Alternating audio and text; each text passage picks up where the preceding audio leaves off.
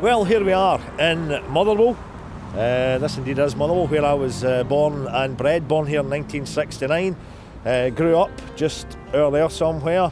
And I got a lot of my education just below that tower there in the Motherwell Town Snooker Club, where I spent a lot of my years. You learned a lot of things in there.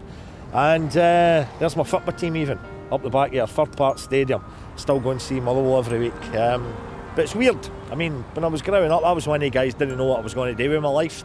Uh, but here I'm now. Uh, I've been working in the wireless for years, bumping my gums on the radio, and uh, writing in the paper for years and years as well.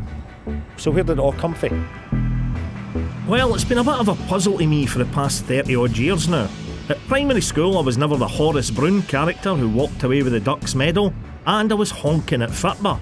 But the one thing I did love was the poetry of Robert Burns. Door you set your foot upon her. Say finally. So, I'm setting out on a wee journey to find out a bit more about Robert Burns the man. He was the first modern rock and roll hero. Absolutely. What us Scots think of his poetry today. Just, it's boring, it's old fashioned, nobody cares anymore. What about leather? I meet a man who reckons we should be proud to use the Scots language. If a child came into a classroom speaking French, massive round of applause, what a talent you have. Speaking Scots, here, speak properly, which language with you? We've got to try and rethink this. And a real eye opener, a Burns boffin pointing out just what an influence the Bard had on me.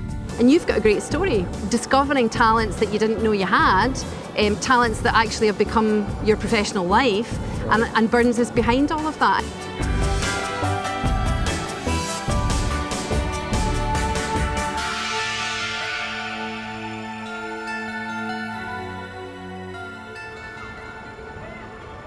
My journey starts at Calder Primary School in Motherwell.